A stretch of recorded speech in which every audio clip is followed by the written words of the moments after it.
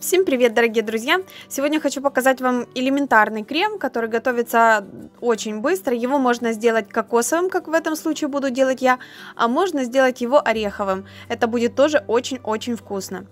Крем универсальный, в данном случае я ним заполняла орешки. У меня будут кокосовые орешки, рецепт их я скину чуть позже.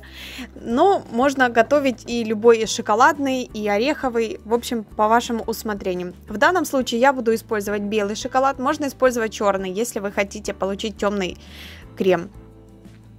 Его я растопила в микроволновке и добавляю сюда размягченное сливочное масло комнатной температуры. Все хорошенечко перемешиваю до однородности. Получается красивая глянцевая блестящая масса.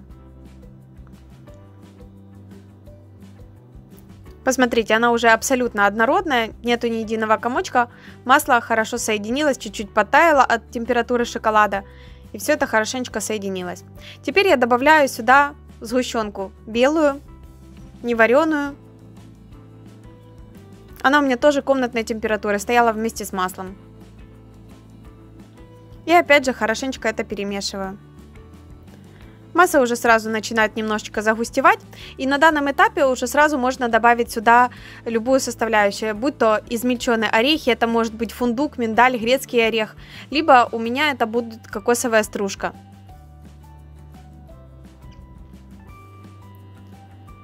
Я добавляю, у меня здесь на полпорции я делаю, поэтому добавляю 40 грамм кокосовой стружки. И опять хорошенечко это перемешиваю. Затем нужно наш крем будет накрыть и отправить его в холод. Воспользоваться ним можно, в принципе, и сразу, если у вас продукт потом отправляется, ваш тортик, либо пирожное в холод, либо уже работать после остывания крема. Остывает этот крем от 2 до 4 часов. И получается вот такой вот плотный крем. Ним, в принципе, можно даже и выравнивать тортики. Обязательно пользуйтесь, это очень просто и очень вкусно. А с вами, как всегда, был Кекс. До новых встреч. Пока-пока.